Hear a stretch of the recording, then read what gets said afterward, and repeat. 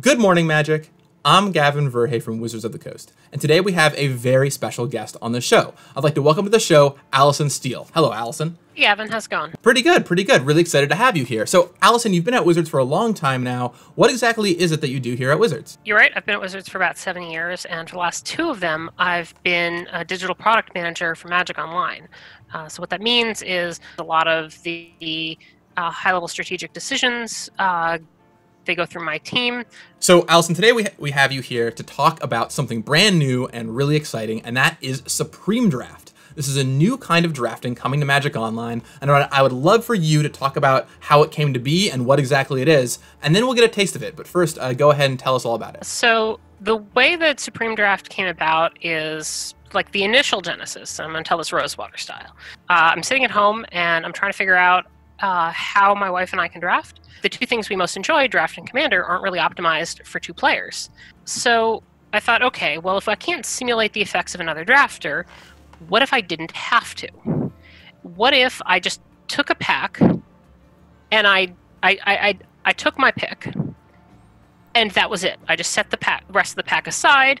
Uh, I had my pick, and then I took the next pack and I made my pick, and that was it. And then we're uh, we're talking. I don't know. A few weeks later in the Miko pit, I, I just pitch my okay. Here's this draft where you just take the one card and then you move on, and people seem to to like it. So flash forward, the playtesting is going super well. We end up getting people from other departments coming in, making ex- excuses to join Magic Online playtests for the first time in ever. This was really a team effort. Like we iterated on it. You know, one of the team members suggested, and this was, I think, the the the change that really made it sing, was rather than have you know 36 packs one pick each. What if we had 18 packs and two picks each? What we're going to be drafting today is the Ravnik Extravaganza. That sounds awesome. Ravnica Extravaganza. I'm excited. It is an extravaganza of all things Ravnica guilds. You're going to get 18 packs, and uh, all of the packs are from the guild sets of Ravnica. War of the Spark is great, not what we're doing here. There's going to be at least two packs of each of the eight sets, and then there's going to be two other random packs. And you're going to go through them in whatever order the, the, the game presents them to you.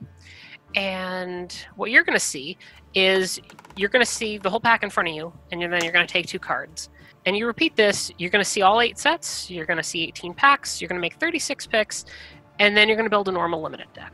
Okay, so let's do this. We're going to crack open 18 packs, grab two cards out of each of them. They're all going to be from the various Ravnica sets, and we're going to build a sweet deck. Let's hop right into it. Okay, awesome. So it looks like we are going to be taking Dragon's Maze first. Kind of a funny one to start with, given that um, given that it's the, combined of all the guilds. I wonder what we're going to take here. There's some good options. We could, we could go for um, this uh, the Spike Jester and go for kind of aggressive strategy. We could take this nice Simic rare. I don't know. I'm kind of tempted by the rare. What do you think? I really like Korozda Gorgon. It served me really well in that block. Uh, I don't know how all the plus one plus one counter synergies are going to work, but if you're in Simic, you might be able to pull that off. So maybe it's a Vorel and, and the Gorgon. Yeah, let's take these two. I always like the little black, green, blue kind of gameplay, so we're going to grab these and submit. And now we can see the order of all the packs that we're going to be opening, right? Yeah, if you click on the booster icon. Oh, there it is. Perfect. So we know that we're going. This might be especially relevant for Ravnica, right? Because you will um, be walking through uh, various guilds which, will have certain color combinations in them. So that's great to know. There's a few art pieces here, but that's just uh, missing here. That's just my screen. Don't worry about it. You'll see them in the final version. Uh, okay, so we took Vorel of the Hull Clade and the Gorgon first. Coming up next, we get 15 brand new cards. Normally, you would get much fewer, but here we can see all of them again. I'm always tempted by Galvanic Arc. I mean, I know it doesn't really fit our other colors, but that's a super exciting one to have. There's Loxodon Hierarch, Loxodon Hierarch, which is, of course, um, phenomenal. Uh, Elves of Deep Shadow, just a nice one man accelerator. Yeah, uh, I really like. Let's see. There are auras throughout the whole thing, so Bramble Elemental was kind of tempting. I'm, I'm really tempted to stick with the colors that we've got because the, you know those three colors together are relatively powerful. They do a lot of the things that I usually like. Yeah, we can also just move on in on uh, Simic, Golgari, and um, and Dimir. That's always always a nice one. And plus, you know, there's no signals to worry about here. We're seeing new packs every single time, so uh, it's not like we're going to get cut off out of nowhere. We'll be able to find the cards. So yeah, yeah, sure. Let's try. Let's try the plan of Bramble Elemental and Elves of Deep Shadow. Let's take those and see what see what happens. Boop. Okay, now we're on to pack three, which is going to be um, Ravnica Allegiance. Okay. So you know, got got some more interesting options. There's a good black removal spell here in Grotesque Demise that goes right into our kind of Simic with black deck. Um, there's some various creatures. Um, there's also a guild gate, you know, mana fixing, really important. That and open the gates could be really important, especially if we're drafting Ravnica and we end up with some some kind of wonky five color deck. Yep. I Um, I think it's for that reason I really like the open the gates. yeah, and there's gates in you know a bunch of these packs too, so that makes a lot of sense. And then I think I'm gonna take the grotesque demise. Just a removal spell will basically always be good in our in our black deck. So let's go with let's go with these guys. All right, submit them. Boop. And just like that, we are on to the next pack. We're in Gatecrash now. Ooh, now here is a rare I'm interested in taking. The, sepu- the sepulchral, sepulchral? Sepu- sepulchral. Sepulchral. Primordial. I was trying to remember that by uh, Brian Kibler talking about it on stream. I did not succeed today. So uh, we're going to take this Primordial for sure. That's going to go great um, in our deck. Yeah. So you're gonna want to click it. Right Yeah. now, it's got a, a teal border and says auto select. Once you click it, it's reserved. Excellent. So we take the Primordial, and then we could take like the Ghor-Clan Rampager, which is, you know, if we end up going red, could be nice. Or we could take the um, the Scab-Clan Charger, but I'm a little uh, partial to the um, either the Oculus, which is pretty strong in this kind of deck as a two mana one three that can pump, or the Prophetic Prism. Once again, just that mana fixing is super nice. Yeah. Uh, there's a lot of common mana fixing in these sets, and not a lot of great two drop creatures. Uh, so, given those two, I kind of like the Oculus more. Oculus it is. Let's do it. Fits right into our strategy. I think it's kind of cool that we were able to kind of basically take, you know, some colors right off the bat and just know we are going to get them, right? We're like, we're going to grab these two and we're just going to force it. Like, is it right to force uh, green, black, blue? I don't know, but we're doing it. And that, that's kind of cool. And one thing to note is that you've got that extended timer, so you know you're not picking. You don't have forever to make a choice, but you've got 15 cards each time to read, so you've got over two minutes per pick. Yeah, which is tons of time to read through your cards and think about it, or even talk with a friend like we're doing about what you, you might want to take. Uh, so here, I, I really like the Birds of Paradise. I mean, that talk about mana fixing, mana ramp, all star. Birds is, is always just just great. Um, and then uh, you know here, I mean, maybe it's just my original Ravnica speaking to me too much, but Civic Wayfinder is the card I'm tempted to take. It's uh, gonna fix our mana, which is great. It'll it essentially draws you a card, and by taking this, I feel okay potentially opening up uh, other colors in the future. Yeah, uh, I think that makes a ton of sense. Uh, between those two cards and the Open the Gates, uh, I feel like we've got a pretty good uh, level of color fixing if we don't go into a fourth or fifth color. I'm not quite brave enough here to take the lightning helix. That would be uh, quite the commitment. Uh, but those two seem seem like a good start. Okay, so uh, now we're back over to Guilds of Ravnica. It's kind of cool. We hop across all the Ravnica sets. This is kind of fun. Um, what are we gonna take this time? Beast Whisperer is so tempting. That's yeah, so much the card Whisper. draw. Yeah, it's hard to say no to a card that lets you cantrip through your creatures, especially in a format like Ravnica, where um, card advantage is often often the champion. So I think I'm going to take this Beast Whisperer. Plus, it's it's a rare. It's so hard to say no. I have to say no to so many rares doing this anyway. Um, after that, I could see the Gateway Plaza once again, just some more great mana fixing. I could see the Siege Wurm. I mean, that's a Ravnica classic. That was in the original Ravnica set too, as just a nice big creature you can drop down. What do you think? Uh, I like I like those options. I also like the Pitiless Gorgon. Uh, it's relatively cheap, uh, and also Death Touch. Uh, there's a ton of big ground creatures going on. Uh, a, sw- it swings in for some Sammy unblockability. Plus, it'll trade with anything. So- Yeah, that, that's a good point. It's also nice and flexible on the mana, right? Which is, which is Yeah. pretty good. I think you know in Ravnica sets, I'm always just on the plan of let's let's take mana and figure it out later. So I'm gonna grab this Gateway Plaza along with the Beast Whisperer, and we'll see what- see what happens. Um, once again, that's- there's no one to, no one to compete with our picks for. So That sounds great. Uh, okay. Ooh. Now I'm wondering about a third color. Is it time for red to maybe grab the Scab Clan Giant right here? Hmm. Or, um, or you take the Zhur-Taa Druid? What do you think? I don't know. I think there's a bunch of good options here. Uh, I really like Turn and Burn. Uh, I think that's fantastic. Yeah, we could grab the Scab Clan Giant and this Turn and Burn and just uh, start grabbing some red options too. I mean, we have the man fix, and we've got Gateway Plaza, Open the Gates, which finds Gateway Plaza, Birds of Paradise, um, Civic Wayfinder. I think we can do it. Let's Yeah, let's be brave. Let's do it. Let's be brave. Here we go. We'll, we'll draw our mana. It'll be fine. Okay, moving on to um, Guilds of Ravnica. Oh, excuse me, Ravnica Allegiance. Uh, okay, we've got Sphinx of Foresight. That's a pretty good pick as a four mana, four four flyer with a bonus ability if it starts in her opening hand. Um, there's also this Gruul Beastmaster, which could be pretty good. Um, grab this rampaging nice versatile. Which one? Sorry. Uh, yeah, we already have overrun torn. Hmm. Uh, uh, Carnival Carnage is also a cool option now that we're in red. Yeah, just like a way to make him pitch some cards or ping off a creature. That's not too shabby. You're right. You're right. You know, looking looking at our deck down here, it's uh, it doesn't have much of a curve identity yet, so I'm not too worried about filling holes in the curve. Hmm. Yeah, I could see I could see a few a few different picks here. Guess uh, sure we can take this. We can take your suggestion of the Carnival Carnage. We'll see how that turns out. Why So- not? I just like I just like taking colors. Okay, so we move from Well- uh, Ravnica Allegiance onto Ah, what? Yeah, one thing to note. Uh, okay. what's the one thing to note, Allie?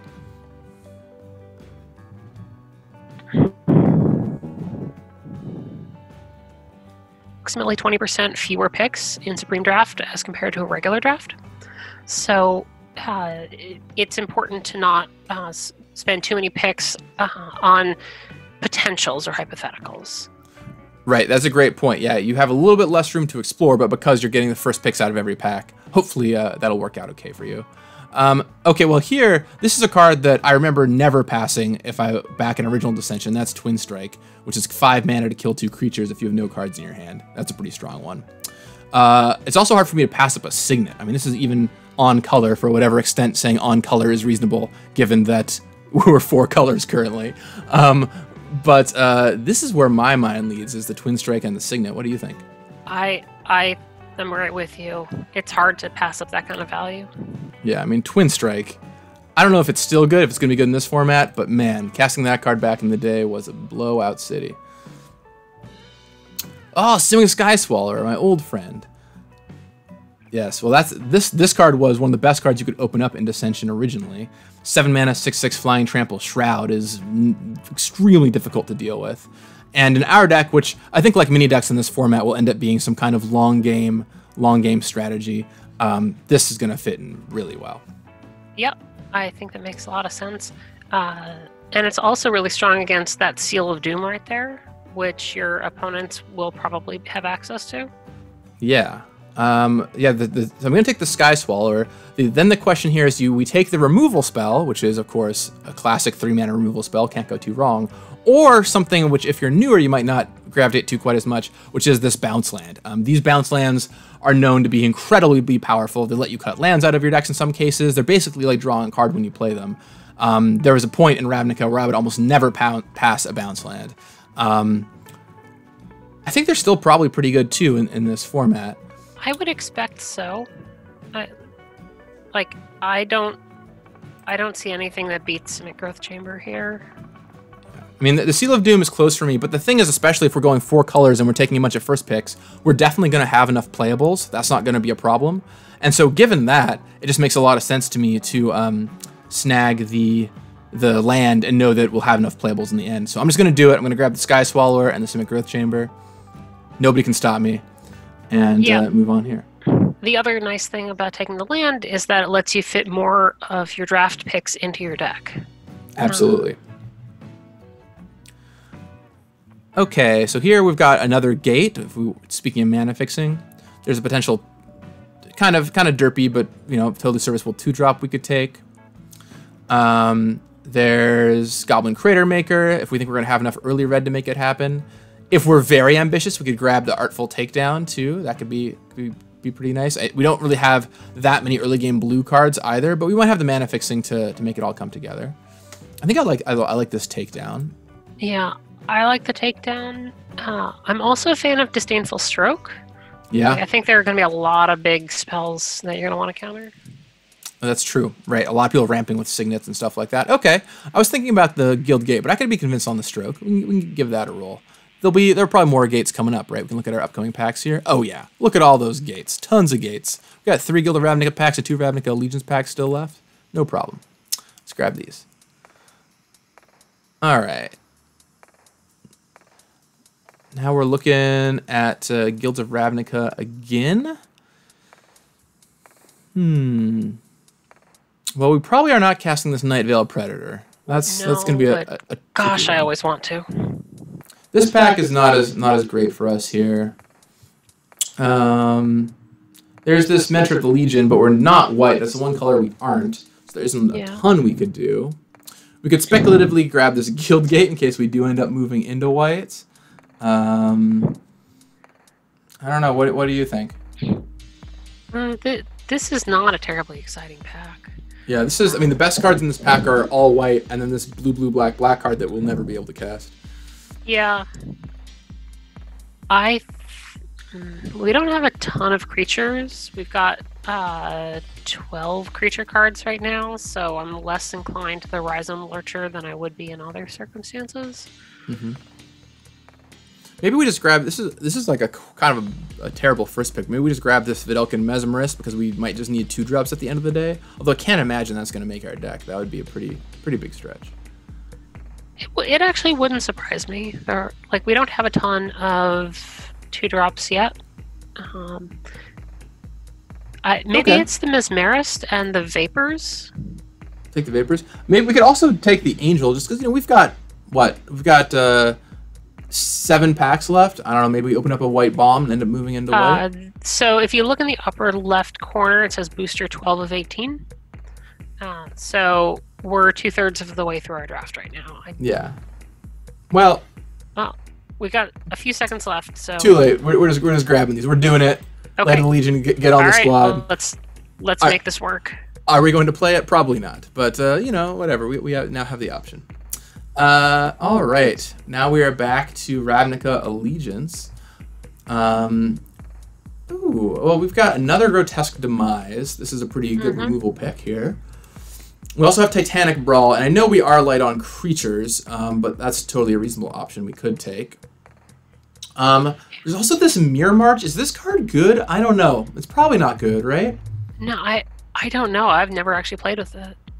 I remember it was really good when it cost three mana um, in the draft, draft I played in, but uh, I don't think it costs three mana anymore. It costs twice as much as the time I cast it. So. Um, yeah, it definitely seems less powerful now. Yeah, I'm just gonna I'm gonna grab this this fight spell. You know, Let's get some good removal. We can also look at the Skitter Eel, I guess, if we need creatures, but I'm just yeah. gonna take the two two removal spells and, and call it good. Okay, now we're on to Ravnica Allegiance again. I I think I can count the number of times I've passed and applied Biomancy on one hand. Uh, it's yeah. it's not great, but I don't care. It's so versatile. It's so versatile. Given that our deck's not super tempo-y, I don't know if it's going to be as awesome. The card, the card I'm maybe most excited about, although I know it's blue-blue, is the Senate Griffin. Just has a four mana, three-two flyer. Um, and maybe this gate, having another gate for open the gates to find could be really, really nice. Yeah. Um, so. I'm gonna I'm gonna snag snag these. We're gonna have enough playables uh, with with all our colors anyway. So Yep. grab these grab these folks.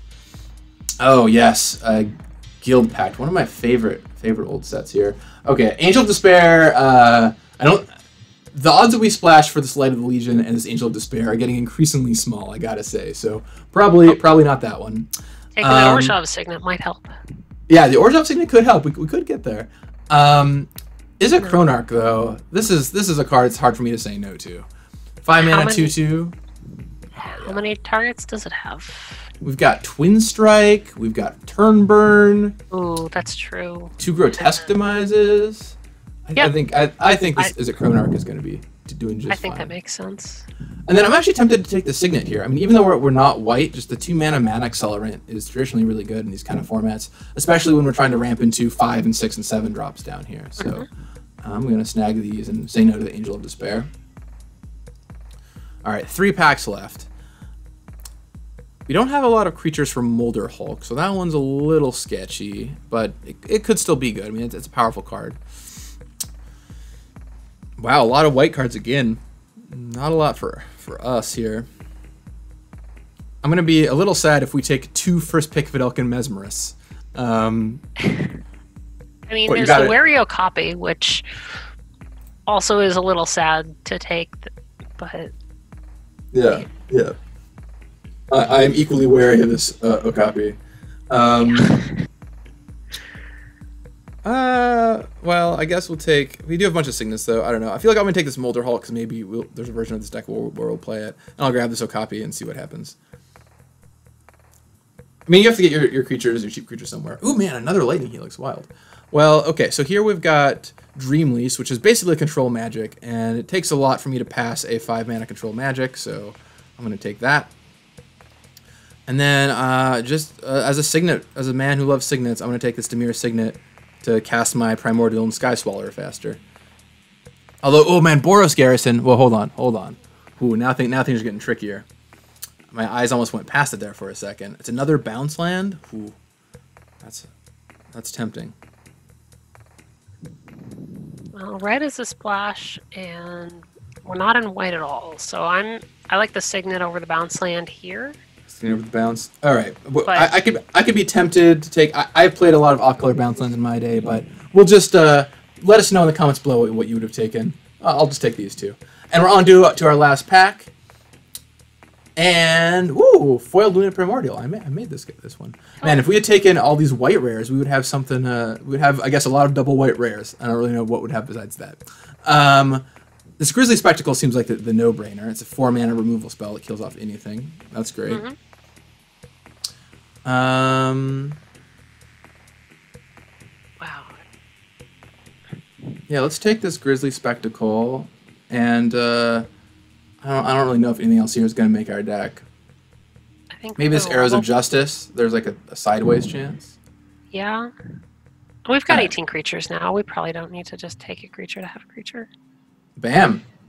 So now we have all of our all of our stuff, and um, this is the part where we d- would normally make a deck. I'm gonna skip past that process here, but you can let you can let me know in the comments what uh, what version of this deck you would have built. And it was definitely a lot of fun getting to draft such a wide variety of uh, of fun Ravnica stuff. All of my Pro Tour experience is judging, and you were obviously uh, playing at that level for quite some time. So getting to see, you know, your decision making was really cool. All right, so Supreme Draft is launching this Wednesday with the Ravnica Stravaganza. What else can we expect from it in the future?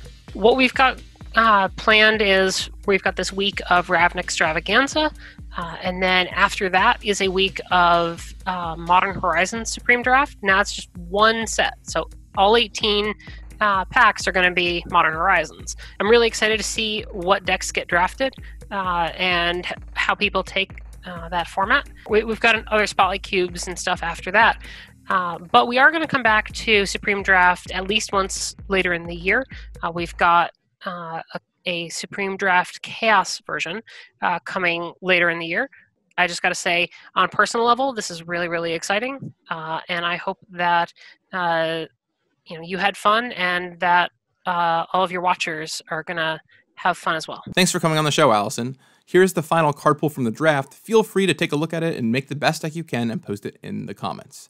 Supreme Draft goes live on Magic Online on Wednesday. Go give it a try. You got this.